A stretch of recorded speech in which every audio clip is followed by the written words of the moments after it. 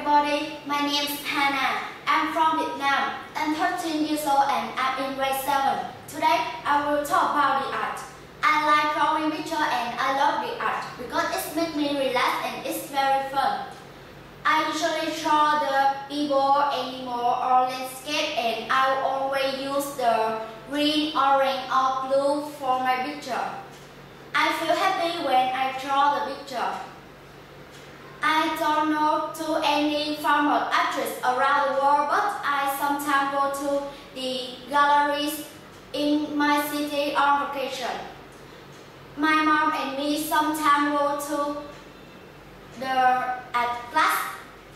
I don't want to become an artist or forever in my future because it makes me busy, tired, and it's uncomfortable. That's all.